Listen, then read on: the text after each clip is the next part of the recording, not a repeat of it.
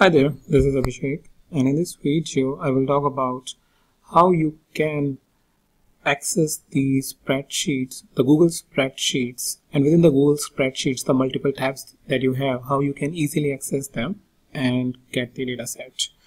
Alright, to do that what we need is basically one Google Drive or and spreadsheet connector.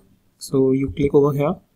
Once you click it over here, it will ask you what option you want so generally what we want is worksheet. So let's click it over here get worksheet and click on parameters.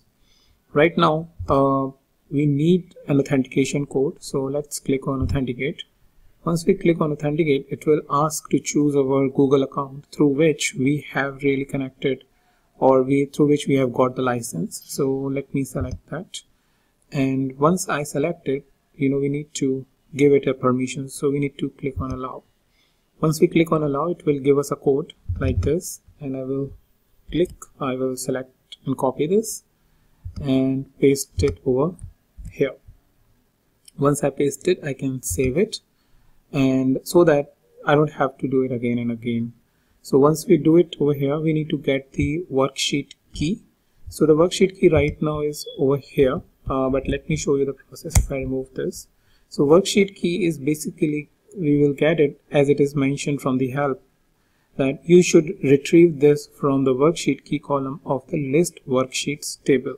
So list worksheet table is present over here. List worksheet, go to parameters. Once you do that, you need to provide a spreadsheet key through which you want to get the uh, keys to fetch the data.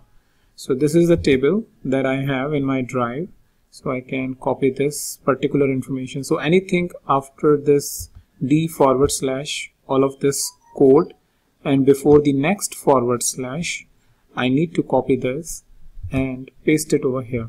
So I'm pasting it again copy paste.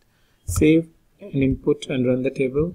Once it will run it will fetch all of the data. So right now it is getting some problem. So let me copy it again so if I copy and let me try to paste it again and save input and run table. Yeah this time it has successfully fetched. I think some mistake I did. So this is a worksheet key that we basically need either of based on these six worksheet key. And how to identify which worksheet key we need because we are just aware that this sheet has the tables these tables or the sheets.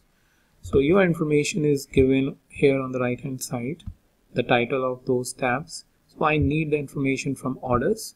So what I'll go is on towards the left I will copy this information copy control C go back get worksheet parameters remove entire information and paste it and save and input run the table. So then it will show you first of all the the data that is related to your script. So as you can see row id order id order date order priority sales 261.54 discount ship mode. You can verify this information. Sales to for row 1 261.04 is discount regular so yeah i think that's good. That then uh, you can get the QlikView script like this. So what you need to do is copy this entire piece. Or you can press this button copy to clipboard and paste it in QlikView and if you need uh, QlikSense script you click over here get the QlikSense I think pretty much the same. So paste it into your QlikSense and uh, get worksheets so if you need another sheet data from another sheet you need to go back on the list worksheet and uh, get the table information and get your get your data or I would say get your uh, sheet key information based on what what from which sheet you really need the data. So that's that's how very conveniently with the help of web connectors you can download the data and uh, get it into your QlikView or QlikSense